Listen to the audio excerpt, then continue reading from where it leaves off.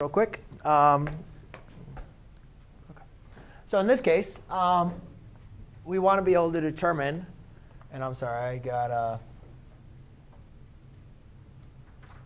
Okay, so we want to be able to determine what our value of y is and what our value of x is. Now, one thing I automatically know is I see an angle that shares a vertex but does not share a side.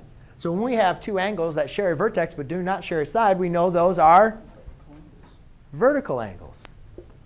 And what's even more important about vertical angles is how their measurements relate to each other. So Jared, do you remember how vertical angles relate to each other? Keith, do you remember? Amani? Layla? They're equal in measure. Very good. So now you can write that down so you can remember it. So you have y is equal to 40 degrees. OK? So now, um, if I know that that's 40 degrees, so let's go back to this triangle. I'm just kind of like taking this over here. So I know that's now 40 degrees.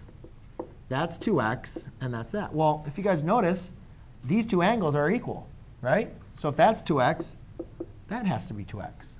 Now we know, remember, the measure of all the angles in a triangle add up to 180. So I can say 2x plus 2x plus 40 equals 180 degrees. You have to do it that way. No, I mean, you can, you don't have to write the equation. I'm just trying to show you mathematically what would make sense for me. Mm. Plus 40 equals 180. Subtract 40. Subtract 40. 4x equals 140.